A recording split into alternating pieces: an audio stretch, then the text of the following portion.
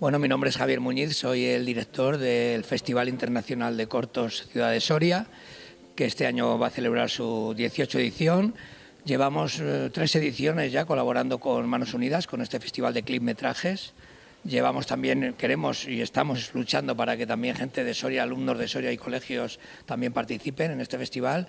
Y bueno, creo que es fundamental que los festivales lo apoyen, ¿no? porque mm, yo soy de los que piensa que, la imagen eh, y los cortometrajes son una vía perfecta para la educación y para la concienciación y para fomentar la solidaridad entre los pueblos, ¿no? me parece fundamental. Entonces queremos seguir colaborando con este festival, por supuesto, porque además es una manera de que los jóvenes y los niños abran los ojos a muchas historias y, al contarlas de diferente manera yo pienso que a unos les llegan de una manera y a otros de otra, pero a todos, a todos yo creo que les hace pensar.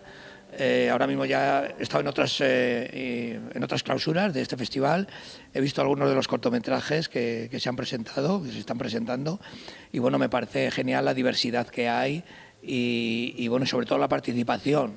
Es alucinante que haya, eh, se, hayan recibido más de mil películas y me parece una forma de educar a los chavales, de educar a los mayores y de, sobre todo hacerles abrir los ojos para afrontar este problema ¿no? del hambre en el mundo. Me parece espectacular.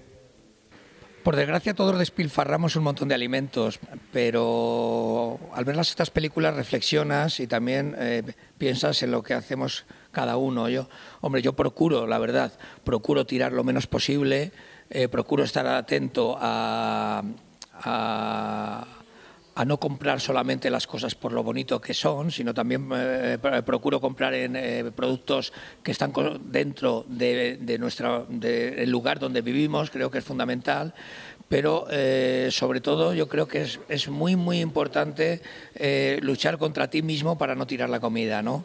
y para no dejar nada en el plato, para no abusar, de, que no comer con los ojos, sino comer con un poquito de cabeza y no decir échame más, échame más, o porque, porque tiene una pinta especial ¿no? el plato, ¿no? Pero pienso sobre todo que, lo que tenemos que hacer es eso, ¿no? Eh, concienciarnos en no tirar comida. Yo es lo que trato, eh, pero estamos inmersos en una sociedad que la verdad es que a veces es difícil, ¿no?